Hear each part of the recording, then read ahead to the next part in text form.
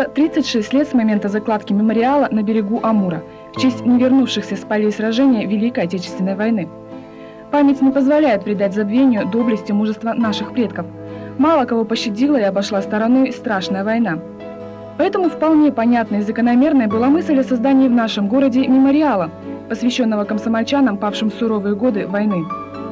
Идея сооружения ныне известнейшего в городе архитектурного комплекса принадлежала первому секретарю горкома партии комсомольска на Амуре Буряку, который, будучи сам фронтовиком, предложил рядом с Великим Амуром, вдали от городской суеты и шума, воздвигнуть памятник тем, кто не вернулся домой с войны. Инициатива была поддержана городом, поэтому объявили конкурс на лучший проект. Самое активное участие приняла группа архитекторов и скульпторов из Ленинграда – кстати, именно ленинградская группа и вышла победителем в состязании на лучший проект. Одну из главных ролей сыграла Надежда Семеновна Ивлева. Изучая архивы, она наткнулась на письмо немецкого офицера. Он писал, «Мы довольно легко прошли Польшу, Францию, Нидерланды, но русские встали на пути как каменные глыбы. Именно последние строки из письма послужили отправной точкой замысла – установить на будущей площади Славы внутри мемориала несколько гранитных глыб – с изображением лиц фронтовиков различных родов войск. Соорудили семь глыб, получилась целая скульптурная группа. А неподалеку установили три пилона. Три белые стелы устремлены в небо, формой напоминающей солдатские штыки. На них в день открытия мемориального комплекса стояло три даты – 1941, 43 и 45 года. Позже в процессе реконструкции на среднем пилоне вместо цифры прикрепили изображение Ордена Великой Отечественной войны. Внизу на плоскости бетонных плит в центре бронзовой звезды полыхают языки пламени вечного огня, зажженного в память тех, кто отдал жизнь за свободу нашей Родины. Именно здесь на протяжении 27 лет несут почетную вахту учащиеся школ города. В 1977 году, 9 мая, здесь впервые выстроился почетный караул, состоявший из 41 учащегося школы номер один. А с 9 мая 1978 и по сей день тут постоянно несут вахту лучшие представители школ города. Это очень большая ответственность, так как мы стоим перед всем городом, то есть весь город на нас смотрит, и поэтому, то есть никаких э, замечаний вообще быть не должно. То есть э, все должно проходить гладко и, в общем, все красиво и торжественно. Я очень горжусь, то, что именно наш класс стоит э, на мемориале. Мы лицо города, как нам сказали, юноармейцы города. Ну, я считаю, что это очень ответственно, потому что нас выбрала школа, всего 17 человек из всей школы. И, значит, ну, мы были лучшими, и мы должны оправдать все надежды. Здесь у ребят все как в армии. Отряды, командиры, комиссары, разводящие. В вахтах участвуют учителя, которые выступают в роли воспитателей, руководителей подразделений юноармейцев. Несение службы учащиеся начинают каждый год с 9 мая и продолжают ее по 4 сентября. Размеренным четким шагом, который ребята отрабатывают на строевых занятиях, проходят они каждые полчаса по нескольку человек к вечному огню и становятся в караул. Через некоторое время к ним на смену является новая группа мальчиков и девочек. Присутствует, конечно же, волнение, когда особенно стоишь или принимаешь смену, ее ждешь, ну и потом, когда их наконец-то уводишь, уже рада, что наконец-то это все кончается. Потом с новыми силами опять ведешь новую смену. Ну, это достаточно, ну, скажем, сложно, ну, достаточно много волнений, но находятся силы все-таки это пережить, и ну, все проходит достаточно хорошо скажем, для первого раза? Стоять очень трудно э, на посту своем. Очень трудно шагать ритуальным шагом. Это требует долгих тренировок. Все здесь по графику. Требуется дисциплина и внимание. С утра и в течение дня ребята учатся нелегкой почетной миссии. И здесь же они питаются, и вновь выходят на свой пост. Это очень торжественно, конечно, присутствует волнение, э, потому что мы стоим перед, гор перед всем городом. Весь город смотрит на нас. Но это очень почетно. Мы еще не, не совсем большие, не совсем еще подготовлены, но для того и учимся. К 60-летию Великой Победы в штабе мемориального комплекса в этом году открывается музей. Здесь будут храниться мемориальные книги, книга почета, огромное количество документов и материалов военных лет. Очень много материалов музей приносят и отдают сами ветераны. Это одни из самых дорогих и важных для них вещей, но для нового музея они готовы их отдать, чтобы подрастающее поколение изучало и помнило о тех временах, когда люди совершали настоящие подвиги. Регулярно в музее проводятся экскурсии и воспитательная работа. Нынешние хранители музейных ценностей Валентина Ивановна Чернышова и Вячеслав Иванович Аликин просвещают молодое поколение, рассказывая о славных традициях прошлого. Штаб существует с 1978 года, и сегодня он чуть ли не единственный действующий на Дальнем Востоке. Школьники и ветераны посещают его круглый год. Здесь проводятся уроки памяти и мужества. Ребятам рассказывают о героях Советского Союза, о партизанах, о пионерах-участниках войны – на встречи приглашаются ветераны и военные действительной службы. Причем, судя по всему, наше подрастающее поколение тянется к познанию своей истории. Уже в этом году в штаб было принято более 700 детей. Значение мемориального комплекса и его музея трудно переоценить, ведь именно эти места являются связующим звеном между прошлым и будущим. Здесь дети учатся любить и ценить свою историю, свою родину. Они учатся уважению к подвигам своих предков и получают уроки истинного патриотизма. Главная цель – отстоять честь города э, и поч почтить павших, почтить павших, э, ну и также не опозориться самим. Принести э, благодарность всем тем, кто пал за наш город, за нашу родину. И охранять их, как бы, и почтить их память.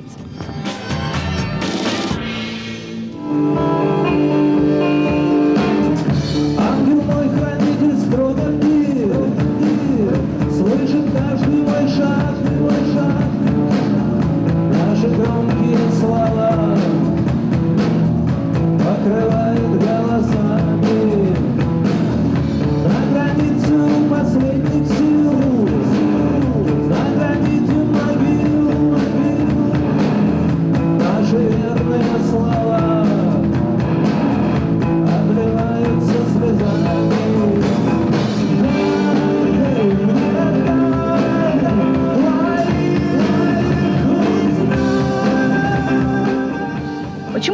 те времена, когда в музыкальной среде постоянно рождались оригинальные проекты, новые группы, нестандартные композиции и свежие идеи. Музыкальные критики и искусствоведы все чаще спорят, куда и почему исчез настоящий рок. Ведь еще несколько лет назад казалось, что эта музыка будет вечной. А сегодня многих признанных когда-то рокеров обвиняют в том, что их музыка перерождается в попс, совершенно меняя свою сущность. Имя Вячеслава Бутусова, легендарного рок-музыканта, для истинных его поклонников по большей части связано с периодом, когда рок вовсю развивался и жил. Тогда получили широкую известность многие группы, и в частности Наутилус Помпилиус.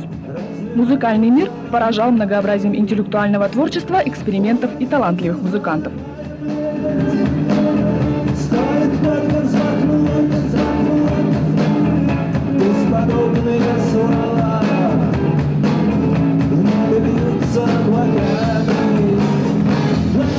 Я думаю, что всему свое время и всему свое место. А, всегда перманентно существует какой-то определен, определенный э, слой э, какой-то культурной массы, которая либо подходит по химическому процессу к данному времени и местоположению, либо не подходит. Вот в тот период это все совпало. Я имею в виду в том числе не только конкретные коллективы, а вообще то, что к этому был такой массовый э,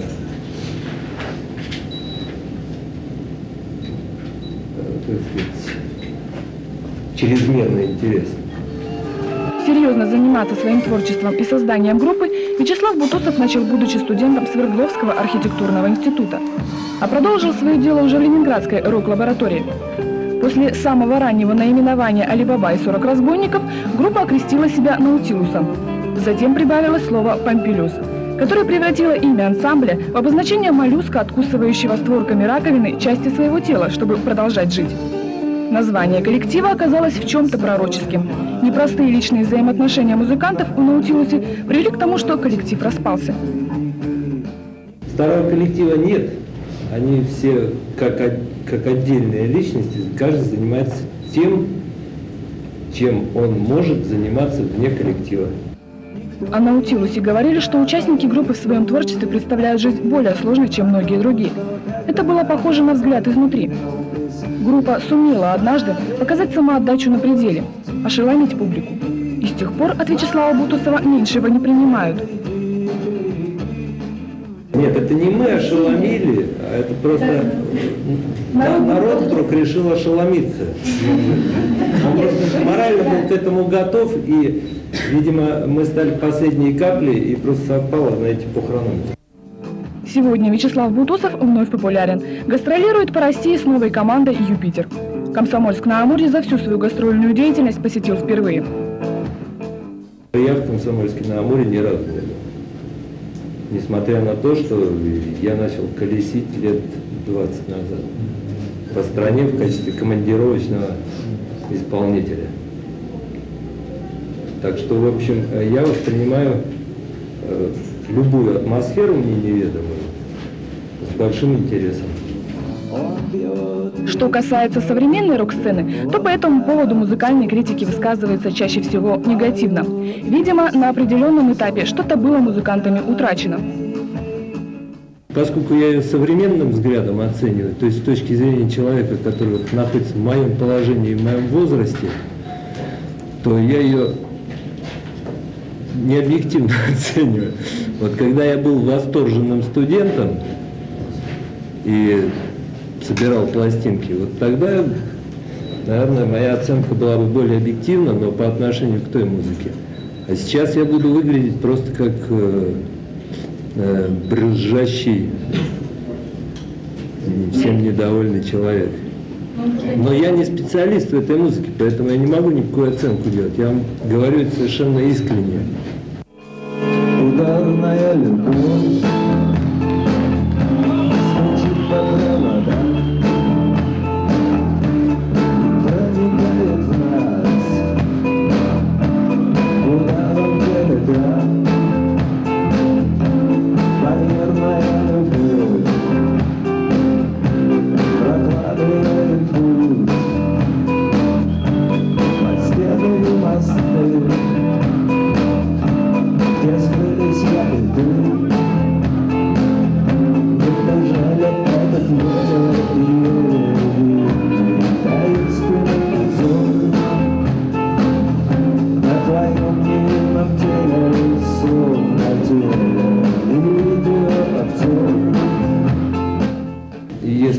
что-то выбираю, то, наверное, кино должно какое-то.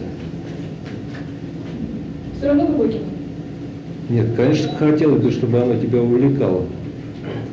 Потому что весь процесс э, э, удовольствия для меня от кинематографа заключается в том, что ты можешь сидеть, ничего не делать, и вокруг тебя происходят всяческие невероятные вещи. Вот в этом, собственно, все преимущество кинематографа как иллюзии, как фокуса. Если этот фокус бездарный, то, собственно, и тратить время на него не нужно. Потому что и так известно, что это фокус. Пятнистая любовь Приходит к нам босой